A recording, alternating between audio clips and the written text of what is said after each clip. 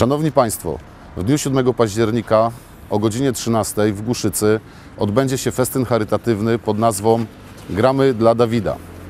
Dawid to 26-letni mieszkaniec Głuszycy, który wyjechał do Belgii w celu podjęcia pracy zarobkowej.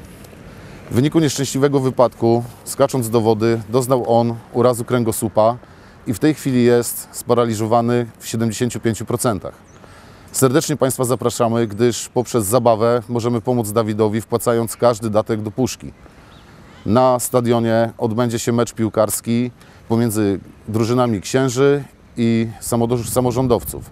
Będą pokazy bokserskie, kickbokserskie, wiele słodkości, wiele zabaw dla dzieci, bardzo dużo atrakcji, których już teraz nie chcemy zdradzić, gdyż mogą być dla Was naprawdę bardzo fajne i mogą być miłą niespodzianką. Pamiętajmy, bawiąc się, możemy pomóc Dawidowi i jego rodzinie. Jeszcze raz serdecznie zapraszam. 7 października, godzina 13, Głuszyca, ulica Dolna. Dziękuję.